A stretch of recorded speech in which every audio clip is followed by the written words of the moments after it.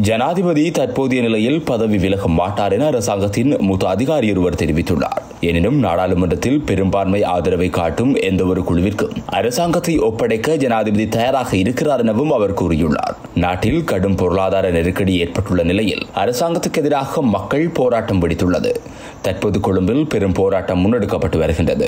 ஜனாதிபதி உள்ளிட்ட அரசாங்க தரப்பினர் உடனடியாக பதவி விலக வேண்டும் என வலியுறுத்தி போராட்டங்கள் தொடர்ச்சியாக நாடளாவிய ரீதியில் முன்னெடுக்கப்பட்டு வருகின்றது. இந்நிலையில் மக்களிடமிருந்து வெளியான எதிர்ப்பை அடுத்து நேற்றைய தினம் முழு அமைச்சரவை அமைச்சர்களும் பதவி விலகினர். இந்த நிலையில் ஜனாதிபதி தற்போதைய நிலையில் பதவி விலக மாட்டார் என அரசாங்கத்தின் மூத்த அதிகாரி ஒருவர் தெரிவித்துள்ளதாக கொழும்பு ஊடகம் ஒன்று செய்தி வெளியிட்டுள்ளது. good.